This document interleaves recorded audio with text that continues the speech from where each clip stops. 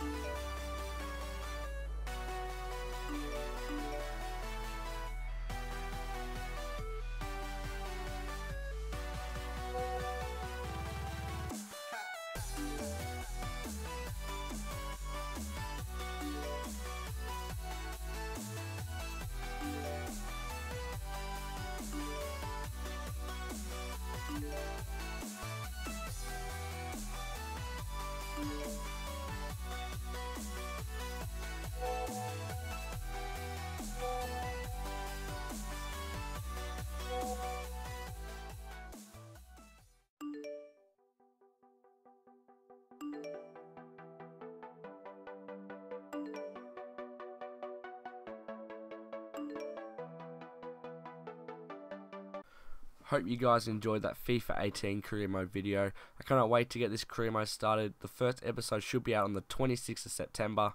I have been an Aston Villa fan for many years now and just seen the club slowly decline. But yeah guys, I'm hopefully going to get Aston Villa back to their glory days in times to come in FIFA 18. If you guys want the Grimsby Town career mode to return, it will be returning after I get Aston Villa back to their glory days. Hopefully, it only takes maybe three seasons to do so. But yeah, guys, please like, comment, and subscribe.